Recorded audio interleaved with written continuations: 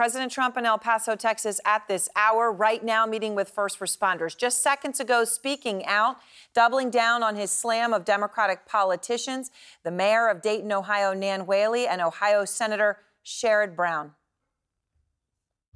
Well, they shouldn't be politicking. Yeah, they shouldn't be politicking today. Uh, I had it with Sherrod Brown. Uh, he and the mayor, Nan Whaley, uh, they asked uh, to go in, could we possibly go in and make the tour with you? I said, yeah, let's do it. They couldn't believe what they saw, and they said it to people. We, they've never seen anything like it. The entire hospital, no different than what we had in El Paso, the entire hospital was, I mean, everybody was so proud of the job they did because they did a great job. They did a great job here. And then I say goodbye. I took them in at their request. We made the tour. They couldn't believe it. She said it to people. He said it to people. I get on Air Force One where they do have a lot of televisions. I turn on the television, and there they are saying, well, I don't know if it was appropriate for the president to be there, you know, et cetera, et cetera, you know, the same old line. And they're very dishonest people, and that's probably why he got I think about 0% that he failed as a presidential candidate.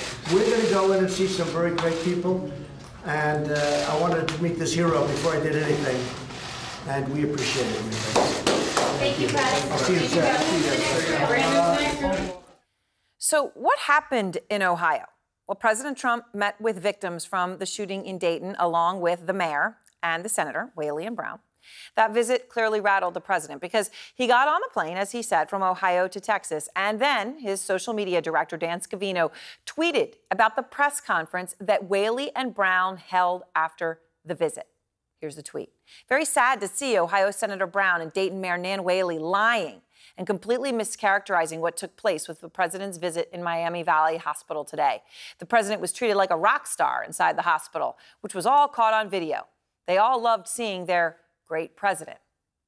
The president then followed up that tweet with one of his own, saying it was a warm and wonderful visit. Quote, then I saw failed presidential candidate, 0%, Sherrod Brown, and Mayor Whaley totally misrepresenting what took place inside the hospital.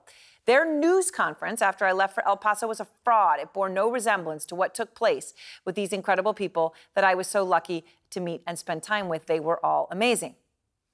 In a sense, this is like living in an alternate universe because the president's and Scavino's description of Brown and Whaley's press conference seems to be completely at odds with what they actually said. Just listen to what they said about the president. Oh, he was comforting was and he nice. did the right things. I think the victims and the first responders were grateful that the President of the United States came to Dayton. So the president did the right things. The victims were grateful that he was there. So if Brown and Whaley were lying about what they said about the president when they said these good things about him, then what were they lying about? He was treated very well by the victims, for sure. And do you have a response to the lying part that Dan Scavino says you were lying? I don't know. Now, Brown and Whaley say Trump's visit was the right thing and the victims were grateful. Trump says they're lying we can only assume not only assume not about that, not about the fact that they said that he, it was it was a great thing that he came. But here's one important thing. We don't know what exactly happened inside that hospital because reporters were kept away.